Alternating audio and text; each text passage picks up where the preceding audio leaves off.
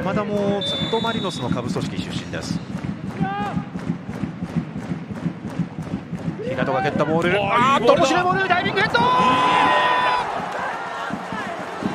FC 町田ゼルビア同点に追いついた。ガッツポーズは5番の深津浩太。フリーキックと同じような位置だとは思うんですけれども、えー、2度同じミスはしませんでしたねで回転をボールにかけることによってワンバウンド目が伸びませんでしたよね。